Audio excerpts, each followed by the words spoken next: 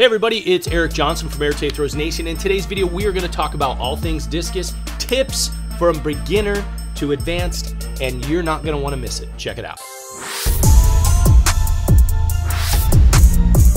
Hey everybody, it's Eric Johnson, and in today's video, we are going to be setting up for a four part training series on how to throw the discus step by step. So it's going to be really important to understand our core terminology in learning to throw. So if this is your first time here, be sure to hit that subscribe button. Check out the long list of videos that we've designed for coaches and throwers to help you understand and learn a little bit more about the throwing chain reaction system, our six pillar system for being able to see, understand, and learn the throw for fast improvement and big throws. Let's check out the terminology. First thing that we like to talk about is we're going to be communicating direction. 12 o'clock is the beginning of the throw. 6 o'clock is directly the dead center of the sector. Therefore, this is 3 o'clock and this is 9 o'clock. So the clock is going to be real simple. So when you hear me refer to 12, 6, 9, 3, 8, whatever, that's the clock we're referring to. Simply separation refers to the shoulder and the hips separating. Notice my hips are going to stay forward here at 6 o'clock and my shoulders right now are trying to turn over here to nine o'clock without my hips moving.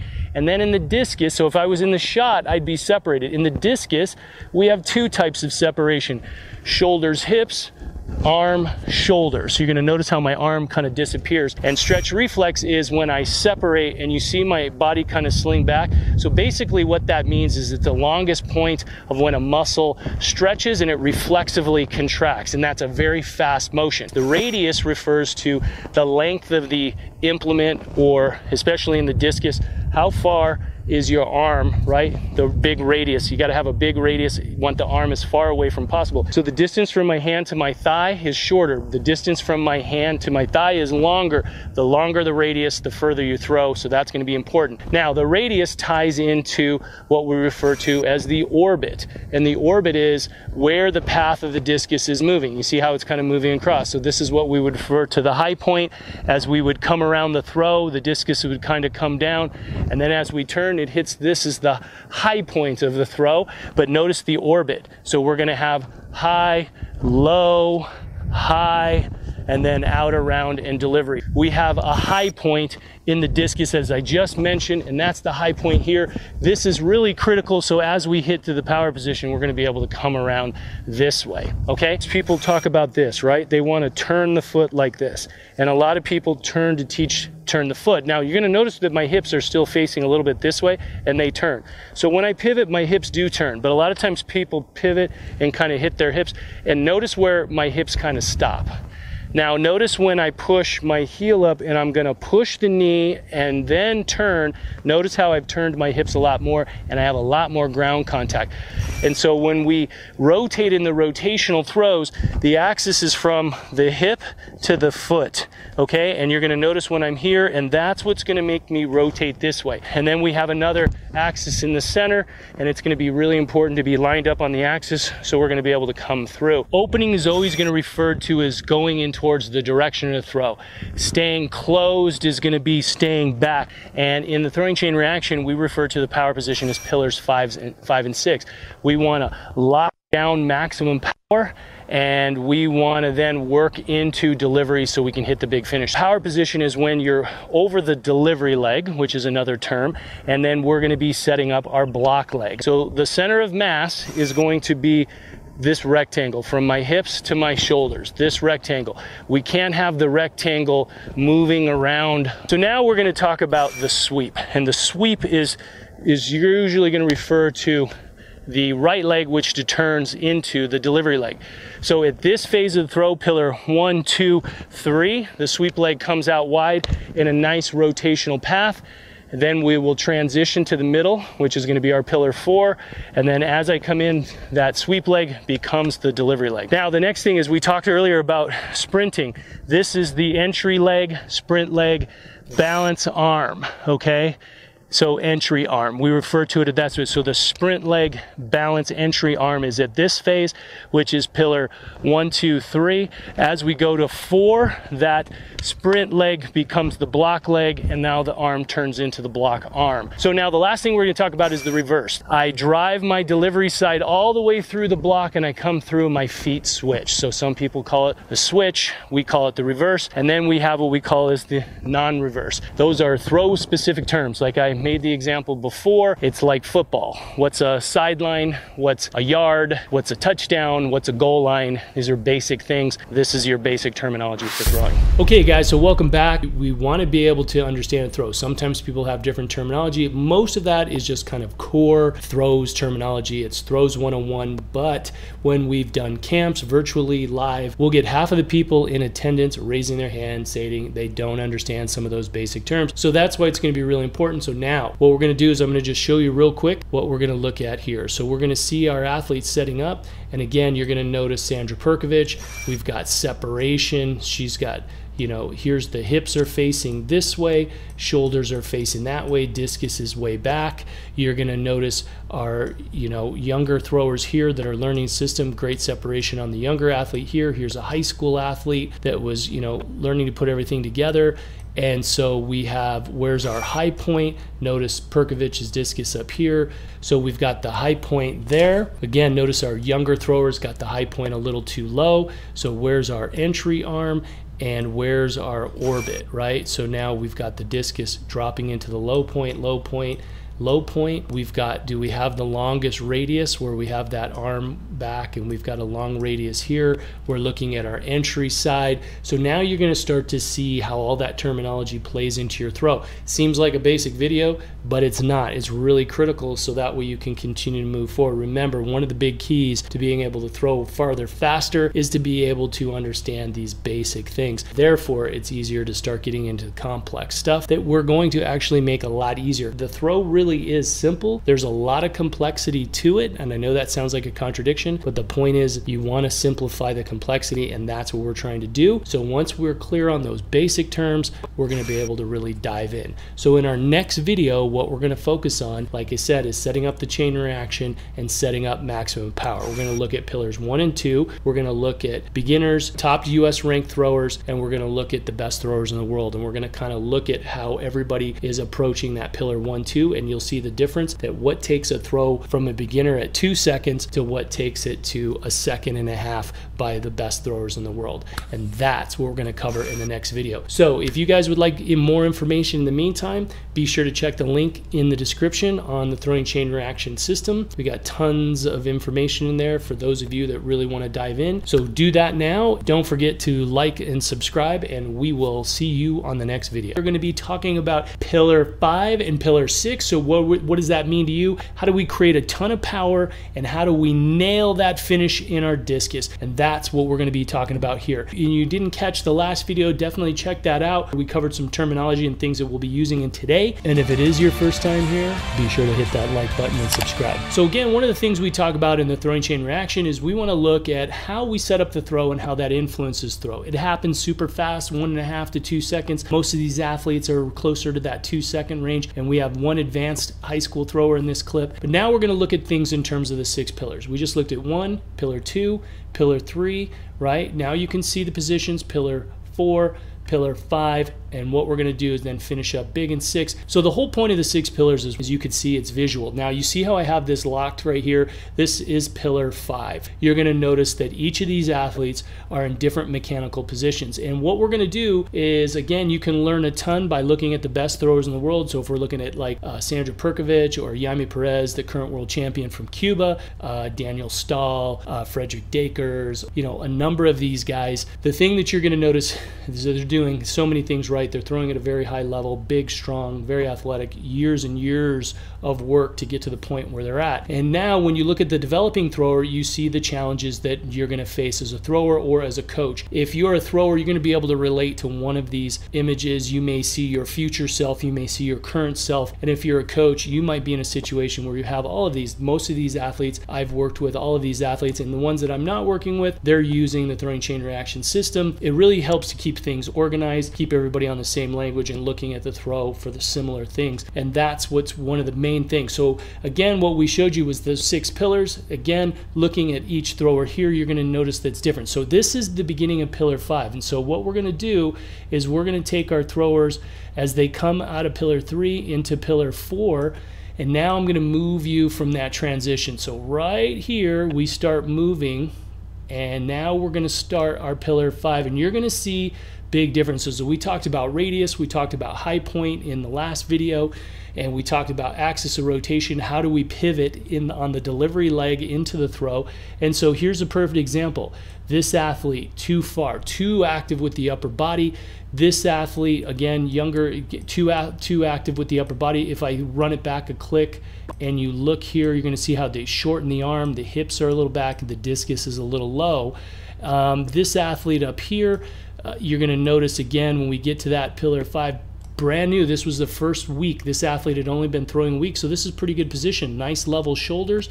We would work on kind of maybe making that arm a little longer, but some a lot of good stuff going on here. Here's a 10-year-old athlete that's super talented, hits fantastic positions, and we go in the next video when we talk about pillar three, four, and we go from the whole thing from one all the way through the whole pillar six. You're going to see that this athlete is arguably maybe has some of the best technique here, and she's only 10. Here's another athlete. You're going to see shoulders a little high, discus is dropping down. She comes out of a good high point, but her body kind of tilts like this. Um, she's new to the system. We're addressing strength issues, and these are all things that are going to play into your technical development. And then we have this athlete here, very talented, um, has thrown quite far as a 16 year old. You're going to notice the difference that this is on par with what you're seeing with more elite throwers. You're going to notice that the hip position. Um, the knee ahead, we've got the lower body moving ahead, this really nice stretch, hips underneath, going to create fast rotation. And so as we come into our pillar six, the thing that we're going to be looking at, right? This is our pillar five. So again, what do we want? Hip under the shoulder, mechanical positions. We want to see that knee pushing in front of the toe. Good, good movement here. Not as good. It's a little more up here because the upper body being so active early is pulling the athlete out of position. You can see how this athlete's shoulders are behind.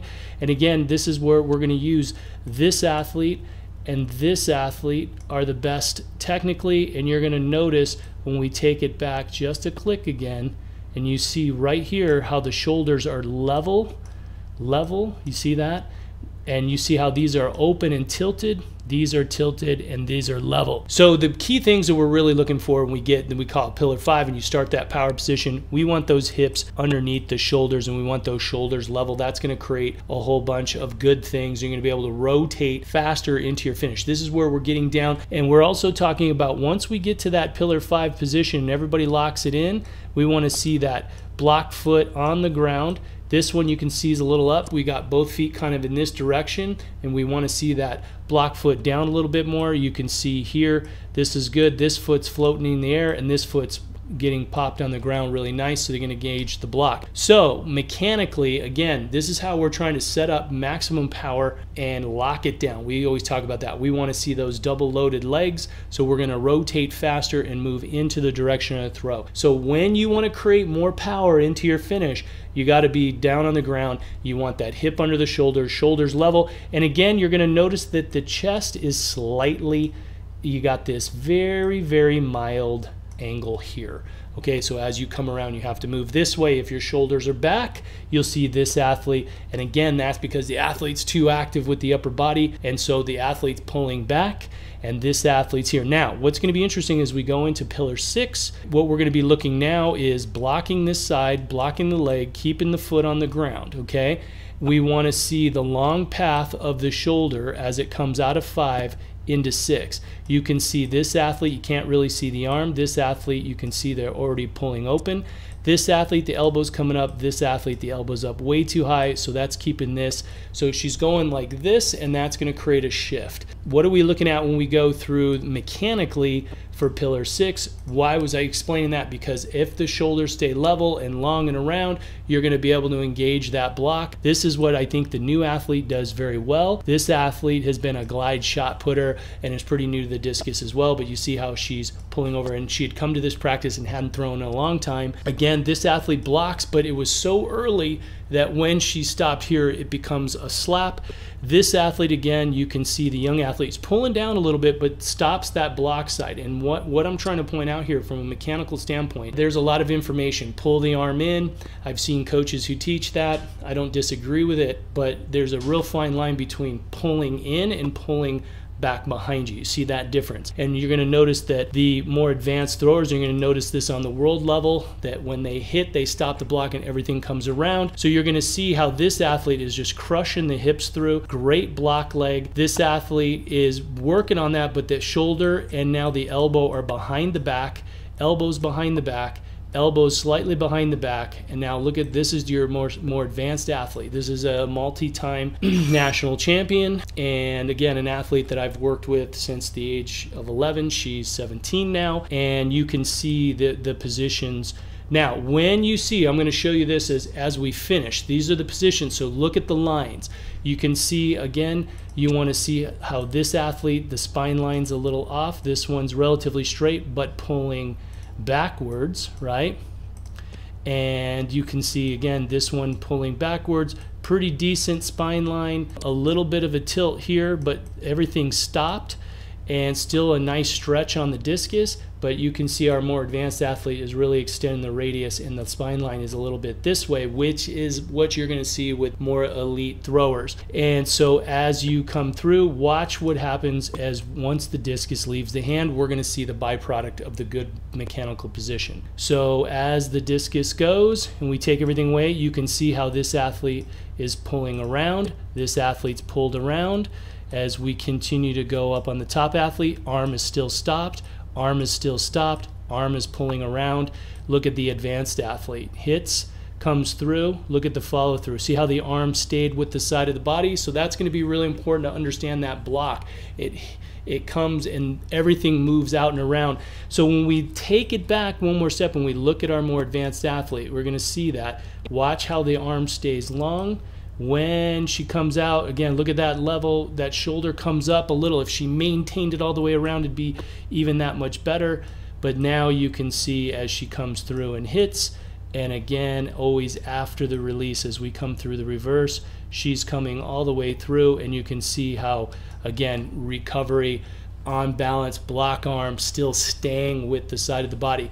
Now, that's looking at it. And this is what I said briefly at the beginning. There's many things you can look at. And today we were going to focus on your core positions and those mechanics and understanding those kind of core things. Remember, strength, rhythm, all these things play a factor into what you're trying to do when you're working on your throw. And that's the whole point of our six pillar throwing system. We want to be able to show you and look what's more optimal in the position. Again, we want to throw optimally, right? Everybody's going to have their best way to throw. So not everybody's going to throw the same way, but we show you how the six pillars, what are we trying to do is isolate and show you what are the core mechanics that we're trying to achieve.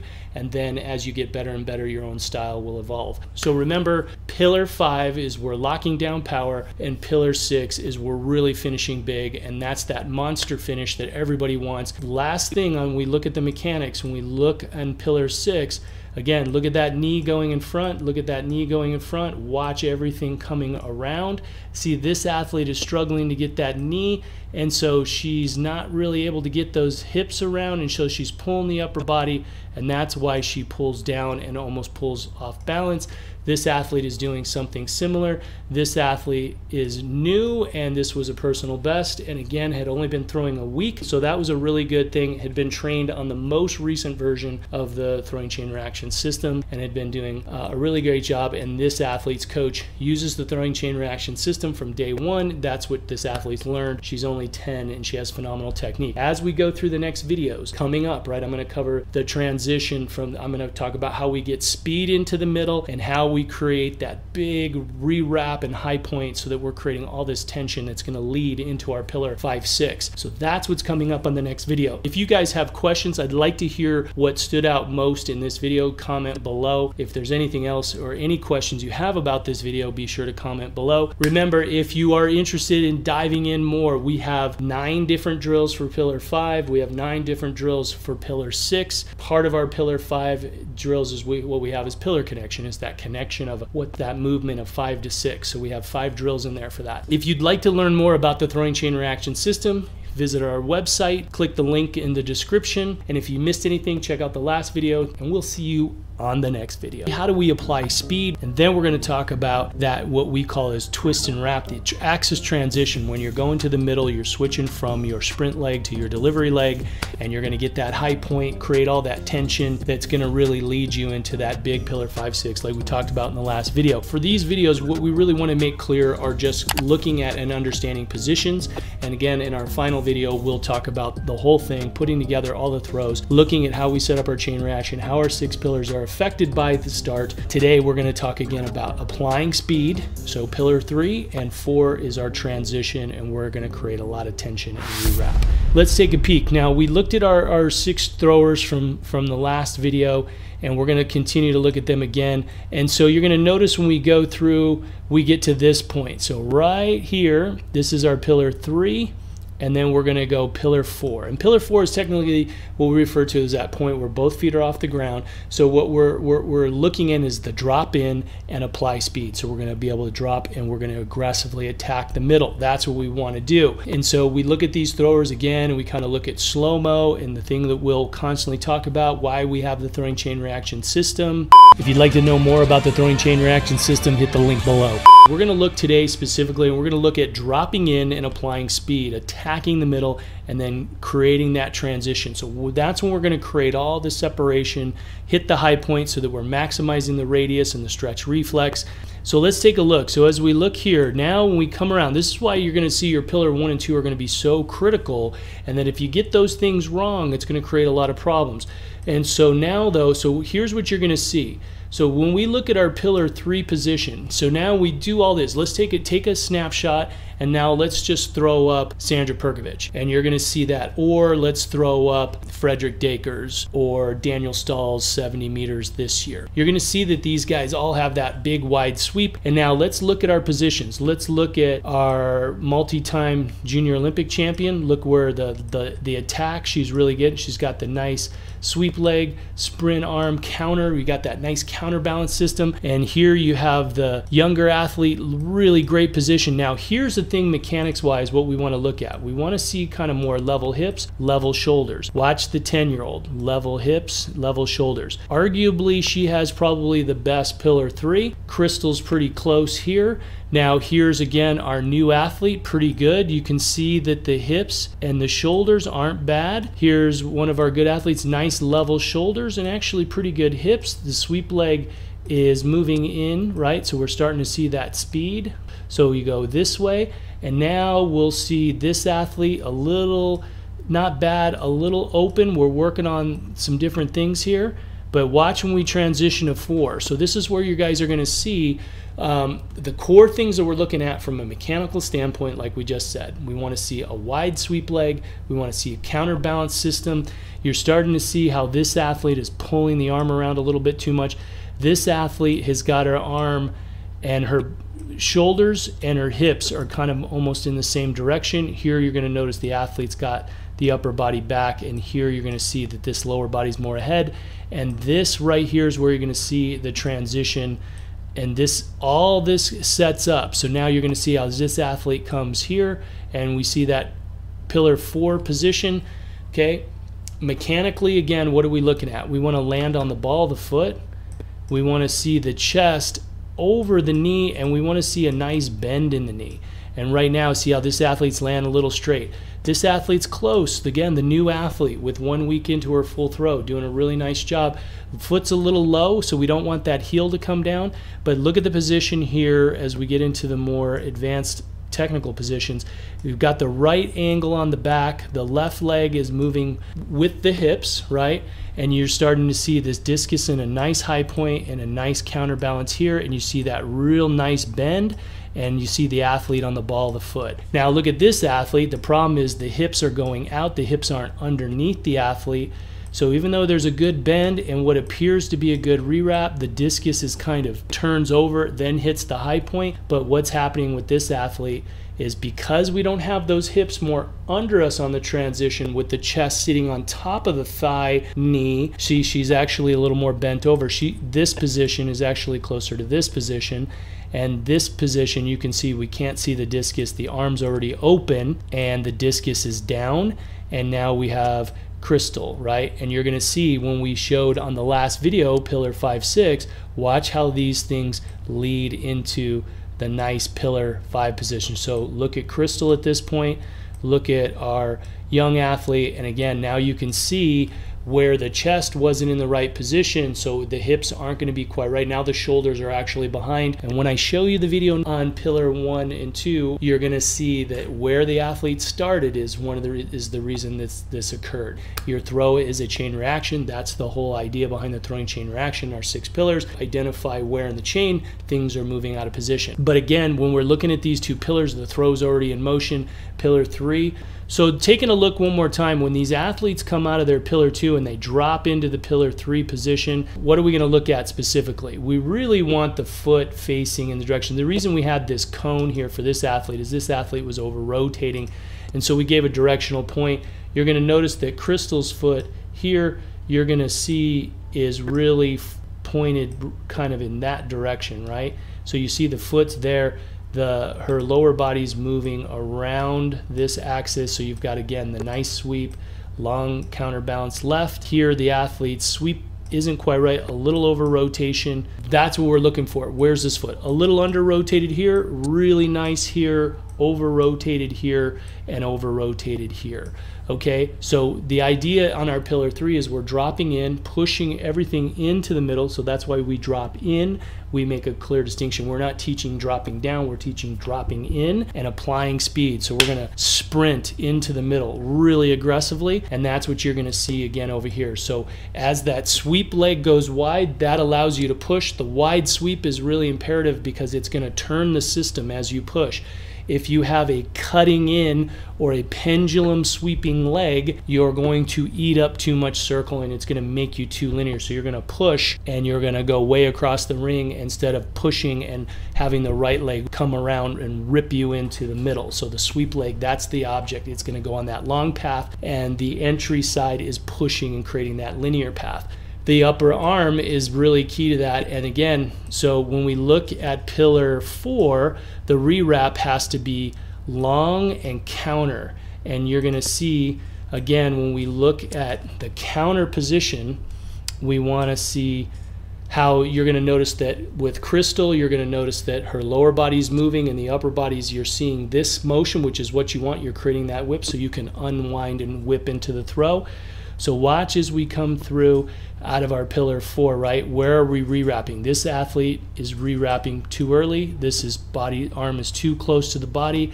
This arm is not rewrapping, it's opening up. This athlete's doing a pretty good job on the rewrap, and so is this athlete. So you're going to see the differences on the better technical throws.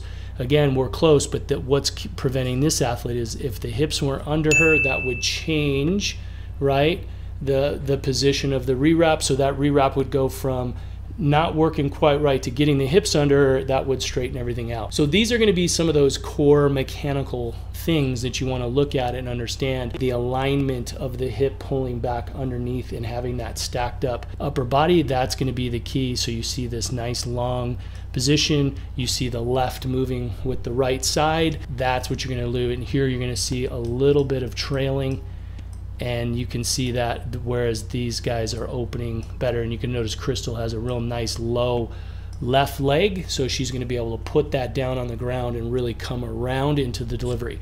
So again that's kind of the core point of today's positions. Remember pillar three dropping in and applying speed that's where you do it. We're going to be aggressive and then axis transition we're going to twist wrap the upper body, and that's kind of the basis. Again, we have tons of drills inside the system. If you'd like to know more about the throwing chain reaction system and dive in, click the link below. Next video, we will put it all together. We will talk about pillar one, two, look at those core mechanics and see again how those two pillars are gonna affect everything we've just talked about in these, this video and the last video. The wind, that is a huge part of setting up the throwing chain reaction. So you wanna get that set in your throw and pillar two, what we refer to as setting up maximum power and setting up most power to start your throw so you can apply speed, transition, lock down power, and smash the crap out of the finish, i.e. finish big. Be sure to catch up on the previous videos. This is part four of a four part series on how to throw the discus. If it is your first time as well, be sure to hit that subscribe button, turn on your notifications to follow us. So we're looking at core mechanical positions. We're not getting into all the specifics of how your strength levels are going to influence that, your special strength, your specific strength, how that affects your ability to learn and hit positions. Your knowledge base is really key.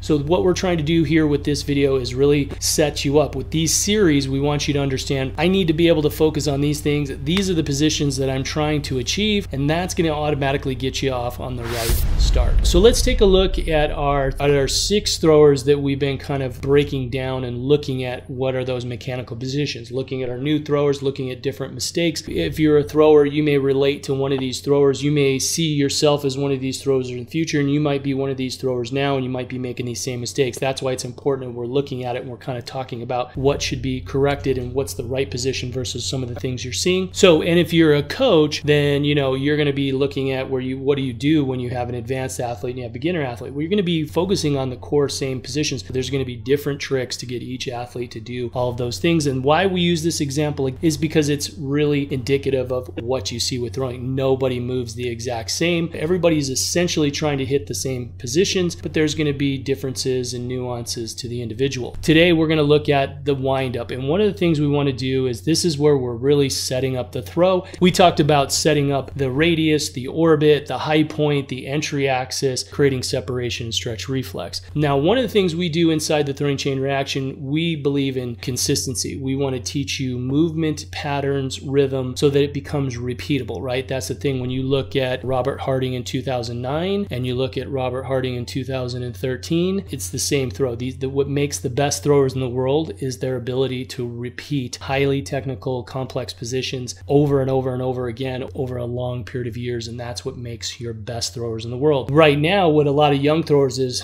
they're all over the place, right? They're doing this throw, this throw, this throw. I always talk about the bullseye. We want to take a bullseye. We don't want darts all over the place. We want to get our darts centered in and we want all of our darts getting as close to the middle and that's kind of what we're looking at technically. So we break down this, the, the setup into four parts. What's the outcome? What are we looking at? We want to create length and one of the things that we're trying to do is create that long position. So you're going to see this athlete kind of moving both arms together. You're going to notice this athlete trying to create that length and you're going to see not bad right? So it's starting out pretty well and we want to look are we all creating length so we look at Crystal, you're going to see she's nice and long. You're going to look at Harley again, pretty good length. She kind of cups the discus and holding the discus, this is where you're really going to see some issues. If you've got kids that have issues or you're a thrower and you don't feel comfortable holding discus, that is absolutely one of the things that you have to get out of the way first and foremost. And you want to spend some time every day working on that until that discus just feels like it's a part of you and it's easy to move it. So you're going to notice again as we kind of look at our length. So look at our young thrower here,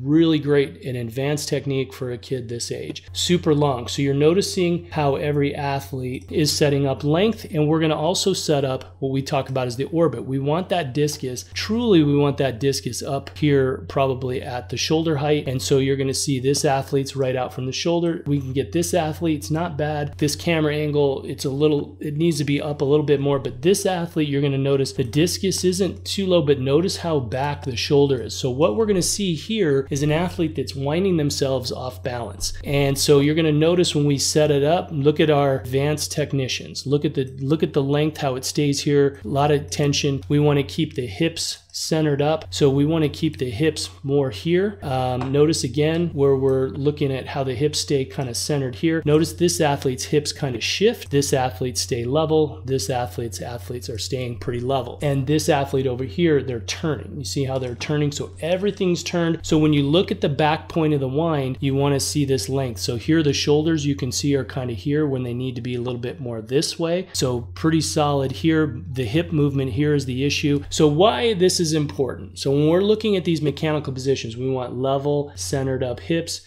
and if they turn too much, if their hips are turning and the shoulders are turning, then you're going to be overwinding and you're not creating the right tension. You're creating false separation. You're not going to create stretch reflex, and stretch reflex ultimately is much faster to be able to move the muscles in your body than consciously trying to throw the discus. You want to whip the discus, right? And it's we always talk about the analogy of the bow and arrow. We pull that back let the arrow go. We don't try to push the arrow and let go of the handle. And when we set up pillar one, we got the orbit. We want to make sure that the radius is long. So when that discus is up higher and further away, we've maximized the radius. When we have the orbit in the right spot, we're going to move through the throw and we're going to come through that pillar five, six position on better balance you're going to notice that as we come out of our pillar one, we're going to be shifting into our pillar two. Again, this thrower, new thrower, is doing a very nice job on technical positions. As we come around here, look at the length. So one of the things that we do is why do we want to be long? Because we want to be able to create that tension and move the lower body ahead. So this athlete here was doing this. So this athlete's actually working on a different position start. This is a drill. So we're trying to teach to get the left foot moving first. You can see that this athlete kind of holds here, brings a knee in a little bit of a more controlled start. That's something we advocate when we're teaching our newer throwers because it's easier to stay on balance and move around the throw. And you're going to notice this thrower again, when we move those hips, the way that foot and that shoulder, she's actually like sitting back. Now, when we get there, we get the right tension and we want to sling into uh, what we refer to as our pillar two. So when we look at this group over here, you're going to notice Crystal moves a little faster. So right here's your pillar two. So let's play it again. We'll watch these throwers. Again, we look at them in slow-mo. You can start to point out certain things and kind of notice where they're moving. Now when we look at terms, so here's our pillar one, and then here's our pillar two. So notice the difference. Now, what are we looking for again mechanically? We're gonna try to keep that discus relatively high. We wanna keep this hip underneath the shoulder and this knee doesn't go in front of the toe. Really, we advocate it's the motion of if it's moving. If it's too far in front of the knee too early, it makes it harder to rotate. And so you're gonna wanna find that spot. So if the hip isn't underneath the shoulder, the hips are going to fall back into the throw. So you're gonna see this this athlete's hips are kind of turning back into the throw, and it makes it very difficult to get around. We always talk about we want to have an imaginary line that we're moving around. Now you're going to notice this athlete's hips are moving back. You're seeing them kind of move here. And so when that athlete moves, that's going to cause the over rotation into our pillar three. So setting up pillar two, having the hips in the center and moving around on a more level is going to make a huge difference. So again, notice our 10 year old versus our 17 year old versus our other 17 year old, right? Watch as they move into the throw. You're going to see Crystal does a heck of a job of moving her body around. You see that? So everything's moving around. This is Chelsea and again, look at the difference. She's moving over here. And this athlete is going to be over rotating a touch too much, right? The hips are, are sitting back and that's going to prevent the big speed, the sprint into the middle. So if we don't get our pillar one and two correct, we don't get the right drop in into the throw. Again, what we're talking about are core mechanical positions. We want to understand when we set up the throw, we have to have the arm height. We want to create separation. We don't want to have a lot of movement. We don't want a low point right? So when we set that, because when we move around the axis, think about it logically. If I have everything higher, the hips are up, everything moves, it's easier to move around the axis. Again, the new thrower doing a great job. This thrower is trying to focus on the right things, but the hips are moving back. And again, same thing, hips are moving back. This thrower is really moving out long and around and into the throw. You're gonna see a really nice long drop.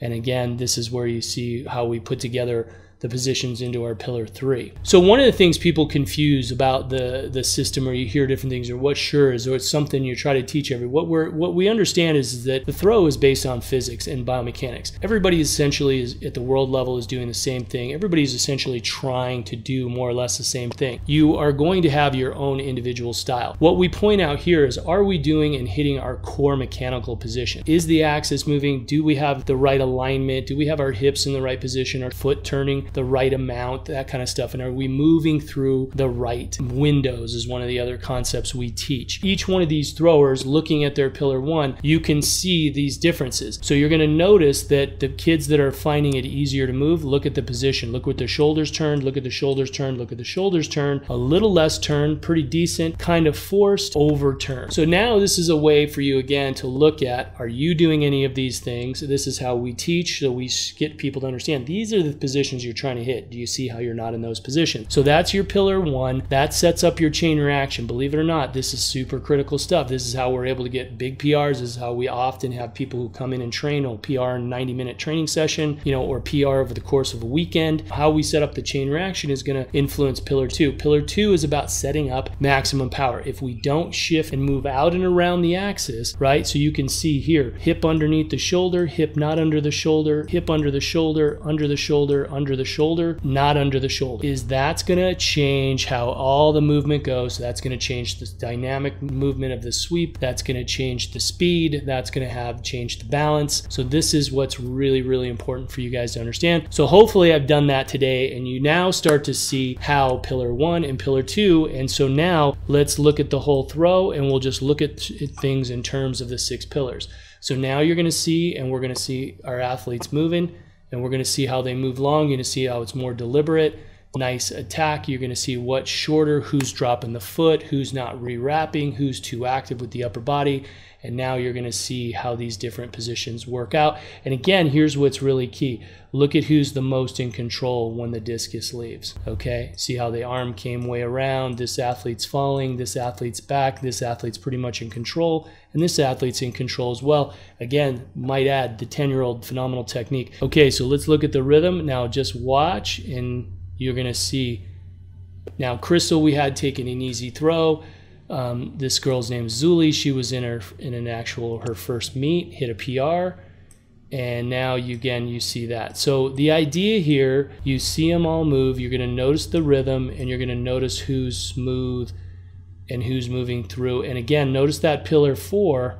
When we come up, look at the discus hitting the high point. I can't see the discus. Can't see the discus I can see it a little bit, which is good. I can see it a lot and I can see it a lot. Um, let's move her back a little bit right here. This is where you would see, I can still see that discus.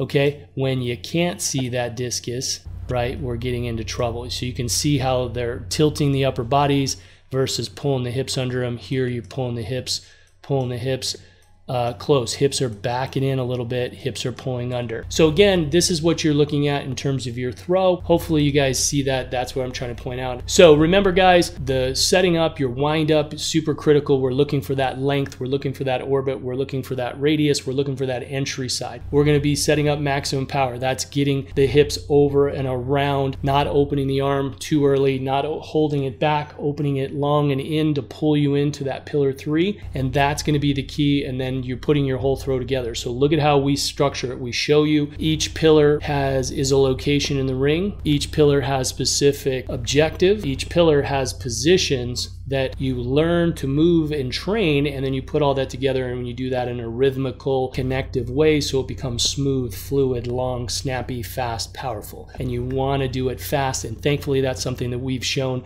we've proven for years now. We get big jumps fast. If you're interested in big jumps fast, be sure to visit our website. Click the link in the description below. Go back, watch. I'd recommend watching some of the videos, pause it, look at some of the frames, see some of the things we're pointing out, take some notes. Be sure to hit that subscribe button, like, and thanks so much, and we will see you guys on the next video.